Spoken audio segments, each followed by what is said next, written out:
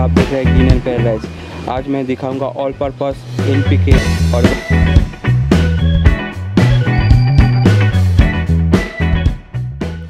ये जो मिक्सर होगा ना, यही आप बाज़ार से बहुत प्राइस देके आप ख़रीदता है। और इसमें आपको जो नर्सरी है, वो कह देता है, इसमें बहुत सारा प्रोटीन है विटामिन है। तो यही वो मिक्स होता है, जिसको आप, मैं जो आप घर में तैयार कर सकते हैं कैसे तो इसके लिए आपको थोड़ी बहुत जानकारी आपको देंगे। किया जाए तो पहले मैं दिखाता हूँ, मैं घर में एन के लिए और पर्पस एन के लिए जो आप हर कोई प्लान में यूज़ कर सकते हैं। इसके लिए मैं जो जो फर्टिलाइज़र लिया हूँ, वो मैं दिखाता हूँ।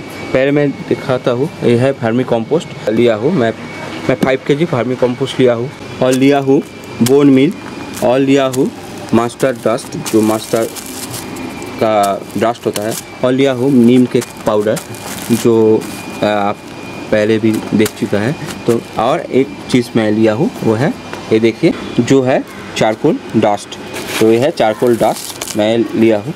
तो अब मैं आता हूँ, ये जो मटेरियल मैं लिया हूँ, घर में आप इजीली ऑल पर्पस कंपोस्ट बनाने के लिए तो मैं जो कॉम्प वार्मी कंपोस्ट लिया हो, इसमें एन का जो रेशियो होता है वो न्यूट्रल होता है। और लिया हो चारकोल चारकोल में पोटास का जो पार्ट वो बहुत ज़्यादा रहता है तो इसमें पोटास रहता है ट्वेंटी वन परसेंट तो मैं आप ऑल पास पर बैलेंस एक N P K fertilizer organic मैं आपके लिए तैयार करके दिखाऊँगा, जो आप इजीली हर कोई प्लान में यूज़ कर सकते हैं। तो चलिए शुरू किया जाए। तो चलिए फिर मैं मिक्सर तैयार करता हूँ। पहले मैं जो पाँच के जी का जो भार्मी कॉम्पोस्ट है, उसको मैं इसमें डालता हूँ इस कंटेनर में। ठीक है? तो इसमें मैं पाँच के जी का जो भार्मी कॉम्पोस्ट है, वो दे दिया हूँ।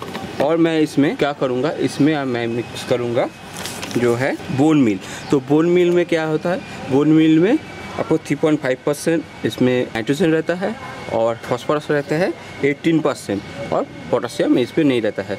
तो मैं बैलेंस करने के लिए पहले मैं जो दे, दे चुका हूँ जो है फार्मी कॉम्पोस्ट उसमें जो पोटास का जो लेवल है वो ज़्यादा है। इसलिए मैं इसमें बोन मिल ऐड करूँगा जो है पाँच के में आप फाइव ग्राम इसमें बोन मिल ऐड करूँगा।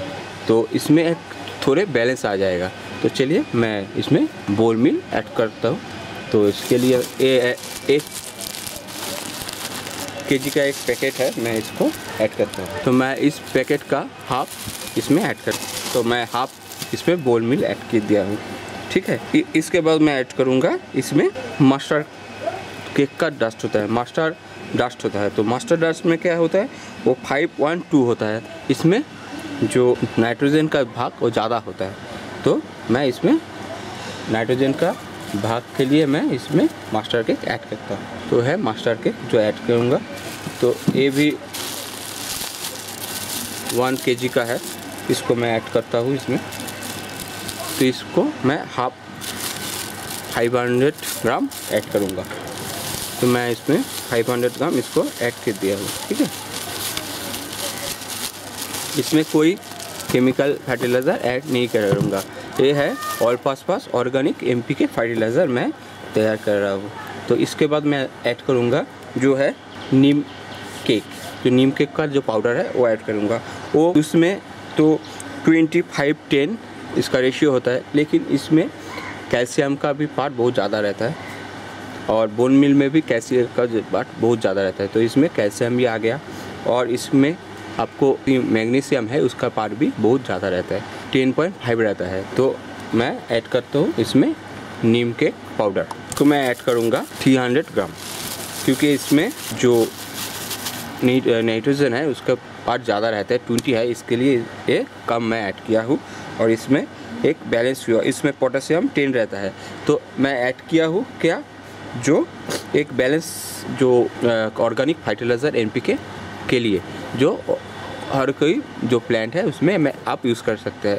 तो मैं आपको ऊपर में एक लिस्ट दे देता हूँ, जिसमें आप देख सकते हैं, इसमें कौन सा फर्टिलाइज़र में किस, जो एन का जो पार्ट है वो क्या क्या है। अब चार्ट देख समझ जाएँगे तो टोटल जो पार्ट होगा, वो एक इक्वल एक एक इक्वल और पर्पस एन पी फर्टिलाइज़र के लिए ठीक होगा। तो चलिए, मैं इसके बाद जो ऐड करूँगा, वो है जो चारकोल का डस्ट जिसमें पोटस रहता है ट्वेंटी वन परसेंट तो चलिए इसको मैं ऐड कर देता हूँ। ये मैं 100 ग्राम ऐड किया हूँ। तो इसको आप अच्छे से मिक्स कर लीजिए। तो ये क्या होगा? एक मिक्स ऑल पर्पस फर्टिलाइज़र जो इन एन जो ऑर्गेनिक एन है, वो तैयार हो गया। इससे आपका जो प्लांट है, उसको हम ही पहुँचाएँगे नहीं, और ग्रो भी अच्छे हो गए क्योंकि जो जो आपको न्यूट्रिशन इसमें दरकार होगा प्लांट में, वो इसमें पाया जाएगा। तो एक अच्छे से आप बाई कर लेंगे, बाहर से कोई भी नर्सरी से आप बोन मिल जो भी है, वो ले आए के एक मिक्सर आप तैयार कर सकते हैं। क्योंकि आप बाज़ार में यही मिक्सर आपको बहुत ज़्यादा दाम में ऑनलाइन में मिलता है। और इस पे आप तैयार करने से क्या होगा, आप बहुत लो प्राइस में ही आपके पास एक अच्छा फर्टिलाइज़र होगा जो और पर्पस आपको काम के लिए यूज़ कर सकते हैं आप। कोई भी ज़रूरत हो तो आप ये टेन डे और फिफ्टीन डे के बाद बाद आप प्लान में एक मुट्ठी लेके आप यूज़ कर सकते हैं। आपके पॉट के साइज़ के मापिक आपको यूज़ करना होगा। वो भी मैं एक वीडियो में आपको दिखा दूँगा क्योंकि मेरा एक दोस्त है, जो मुझको कहा है कि कौन सा प्लान में कै, कौन कौन फर्टिलाइज़र यूज़ करना होता है। इसके लिए एक मैं वीडियो तैयार करूँगा, उसमें मैं कह दूँगा आपको फर्टिलाइज़र कितने देना है, कौन पॉट में, कौन सा प्लान में क्या फर्टिलाइज़र देना है। तो मेरा तैयार हो गया एन का एक कॉमन और इजी फर्टिलाइज़र जो आप होममेड फर्टिलाइज़र है। तैयार किया है। इसको आप 10 दिन के लिए एक बैग में रख देना है क्योंकि ये जो आपको नीम केक और ये जो मास्टर है उसमें आपको झाज ज़्यादा होता है। इस इसके आप डायरेक्ट आप इसको यूज़ कर देंगे तो आपको पैर को हमें पहुँच सक, सकते हैं। इसके लिए आप इसको 10 दिन तक एक पैकेट में रख के फिर आप इसको यूज़ करिए इस मिस को तो बहुत अच्छा फल देंगे। केमिकल फर्टिलाइज़र भी ऐड कर देता है। लेकिन मैं इसमें केमिकल फर्टिलाइज़र ऐड नहीं किया हूँ, क्योंकि आप समर का टाइम है, इसमें केमिकल फर्टिलाइज़र देंगे तो आपको दिक्कत हो सकता है आपको प्लान को। वो मैं बाद में आपको कहूँगा क्या क्या दिक्कत हो सकता है। तो ये जो मिक्सर है, ये आप इजीली दस दिन के बाद कोई भी प्लान में यूज़ करें।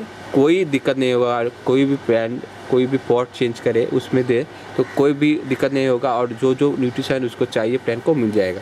तो आप देख रहे थे ग्रीन एंड पैराडाइज मैं बहुत इजीली और बहुत शॉर्ट वीडियो में आपको कह दिया हूँ।